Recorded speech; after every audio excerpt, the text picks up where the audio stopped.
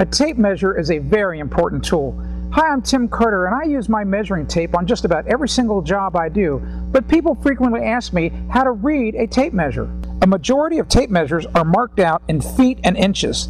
The inch part of the tape is then usually broken down into fractions like one half, one quarter, one eighth, and one sixteenth inches. Each of those divisions is represented by a smaller and smaller line, with the half inch mark being the largest. Most tape measures have color coding to show you quickly the dimensions that indicate 16 inch centers. You can make a mistake when reading a tape measure upside down. Remember, take your time, measure twice so you only have to cut once.